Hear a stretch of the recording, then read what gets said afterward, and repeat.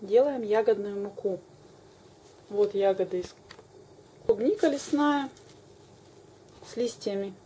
Чтобы ее легко было употреблять, перемалываем в блендере. И потом уже можно добавлять это в смузи, в каши, например, в льняную кашу хорошо, в кисель.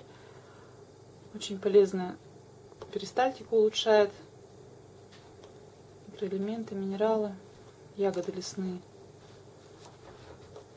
Вот такой вариант. Можно употреблять их как в замороженном, в свежем виде и также вот как в муке. Вот такая подсказочка.